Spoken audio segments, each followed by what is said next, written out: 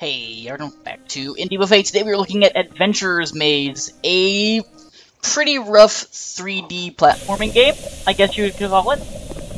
So, I like what they're doing with the level design. I think the, the, the character needs a little bit of, of work, but it's kind of like those Flash games where you have to, you know, navigate through a level and pick up stars and go from there. And, you know, for, I guess, an alpha of some sort, the models aren't so bad. It starts off relatively easy. I do have some, some pretty big criticisms with this game. The, the camera is a real pain in the butt, and um, it also likes to do that uh, Unity thing where the mouse likes to leave the, the window which is kind of a pain in the butt for control. But I think the heart of this game is is in the correct place, and you can obviously tell this this definitely takes a lot of inspiration from those old Flash games where they're just kind of platforming. Jumping is kind of a pain in the ass, which leads to death pretty quickly, um, and that's okay. But I, I think there needs to be some some real tightening of the controls. It's WASD to move. This is made in Unity, uh, as you can probably guess. Um, and I'll show you guys the first two levels, and I will show the third level, and we'll discuss why um, there are some, some things in this game that uh, really needs some improvement. For a, a, platforming game, the jumping really needs to be tightened up, um, and the camera really needs some work. Banjo-Kazooie and uh, the Rare style games, this is not. And even those games had some uh, some pretty troublesome some ca troublesome camera issues. Um, I'd like to see some rewards for these stars. I don't really know why we're picking them up other than, you know, uh, completion bonus. But, you know what, for, for what it is, it's an interesting concept. I've never seen a, a full 3D version of a game like this. Um, so, that's pretty neat. So, the third level is where I have a lot of problems, and that and it kind of solidifies where I'm having some issues with this game. So, you're intended to platform, it. but these things, number one, they'll catch you a lot, as you can see. So, so collision is really just not good.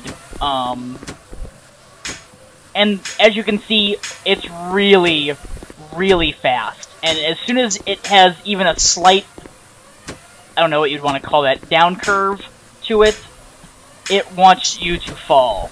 And it's really difficult to mount these, which it's it's not difficult because timing is difficult. It's difficult because the game is essentially kind of effing you over. Um, and and that's no good and no fun. So like right there. Why why did that drop me down? Um, I, I, I want to like this game more than I do, and I'm sure once it's got some refinement, I will probably like it a lot more.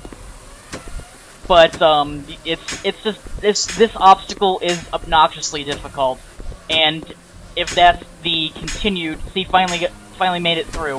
If that's the way they want to uh, to do things, then their heart is not in the uh, the right place.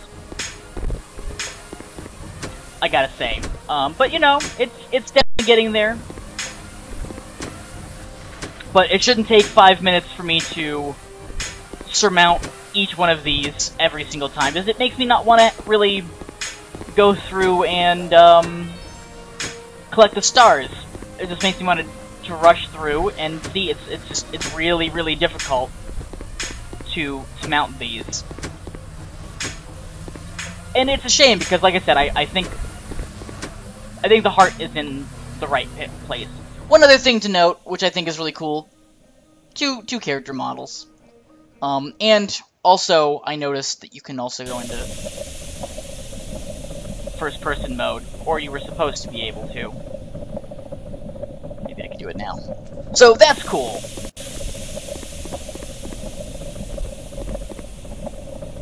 Although, you had to use WASD to look around, and That's actually even worse.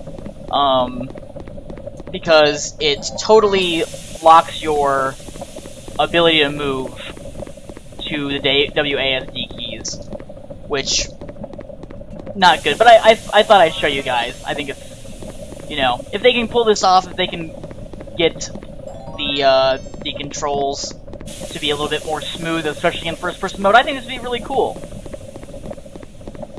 As it stands, though, I think it needs a lot of work before it uh, can be real good. Because you can look up and down,